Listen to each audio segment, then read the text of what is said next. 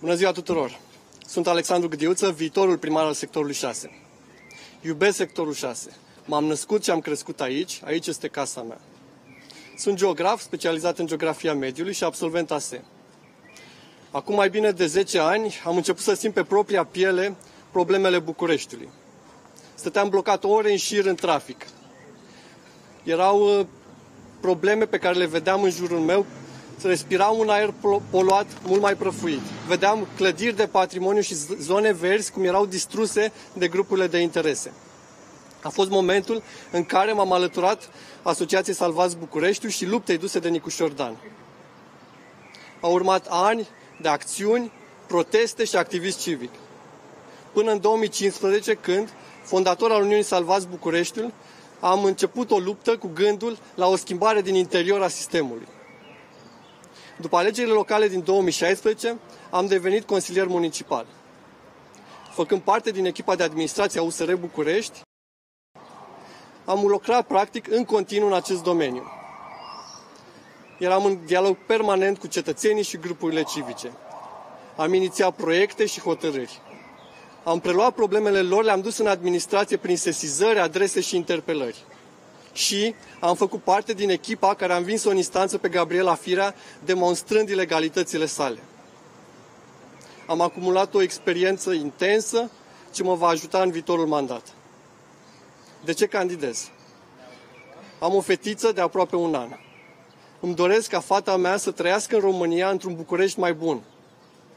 Îmi doresc ca sectorul 6 să fie locul în care să trăim cu toții de drag și nu de nevoie. Nu pentru că suntem constrânși de ceva îmi doresc să transformăm sectorul 6. Împreună cu colegii mei am făcut un program care vine cu măsuri și proiecte concrete. Un program care va îmbunătăți în mod real condițiile de viață din sectorul 6.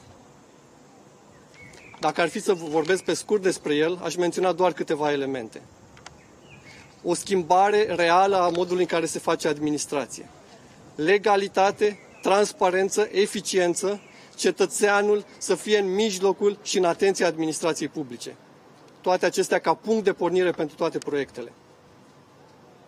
Ne dorim investiții reale în proiecte de infrastructură din domenii cheie, precum educație sau sănătate. Ne dorim școli, grădinițe, creșe la standarde europene. Propunem un astfel de tip de școală, un prototip pentru România ne dorim ca sectorul 6 să fie conectat și accesibil. Ne dorim ca sectorul 6 să fie accesibilizat pentru toți pietonii. Ne dorim benzi unice pentru transportul public. Propunem măsuri concrete de infrastructură. Străpungeri către centura capitalei. Apoi, propunem în vestul capitalei, în depoul militar, un nod intermodal, parcări la marginea orașului, ne propunem să readucem la viață strada liniei, să o transformăm într-o stradă verde.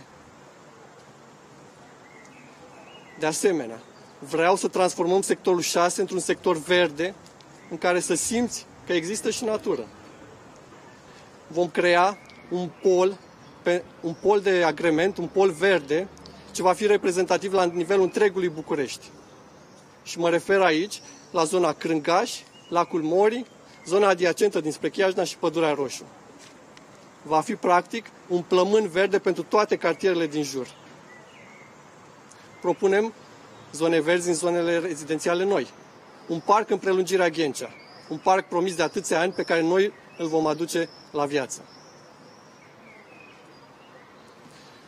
Toate acestea se pot face.